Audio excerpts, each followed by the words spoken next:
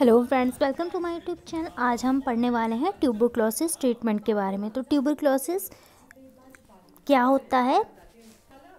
ये एक माइक्रोबैक्टीरियम ट्यूबरक्लोलाई एक बैक्टीरिया होता है जिसकी वजह से हमें ट्यूबरक्लोसिस होता है। तो इसकी ट्रीटमेंट में कौन कौन सी जो मेडिसिन है, वो यूज़ होती हैं, वो बहुत इंपॉर्टेंट है और बहुत सारे एग्ज़ाम पर्पज़ से आपको आ सकती हैं तो आपने कैसे याद रखना है? P R I E S T priest इसमें पी से है पी से क्या होगा?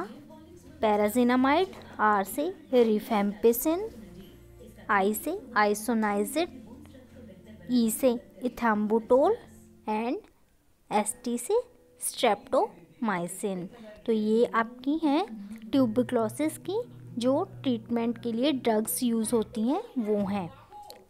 Pyrazinamide rifampicin isoniazid ethambutol and streptomycin अगर वीडियो अच्छी लगी तो लाइक शेयर एंड सब्सक्राइब कीजिए। Thanks for watching